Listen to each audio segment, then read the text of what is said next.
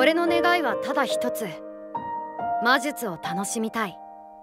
それだけだ。だけど俺には才能がなかった。だから何もできずに殺された。はずだった。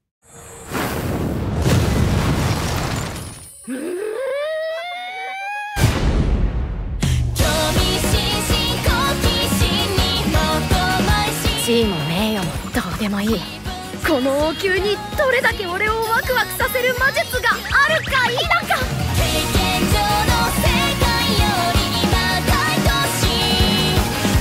言うこと聞かない悪い子は禁書の魔人に食べられちゃいますよ。俺はグリモワールこれからどうするかな？何ねえ。もう少し見せてくれるかな？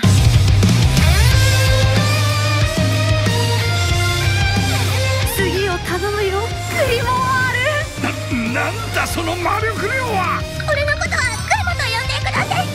見つけましたよロイド様。なんと愛らしい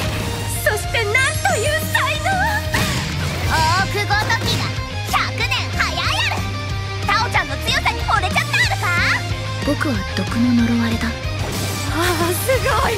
どういう理屈だ。受けにも飛んだてなんで結界解いてるんすか。行ってみますか。冒険者としての第一歩。尋常じゃない魔力の高まり行くぞ。はいな。テレビアニメ「転生したら第七王子」だったので気ままに魔術を極めます何なんだい？君は。ただの王子さ。第七のな。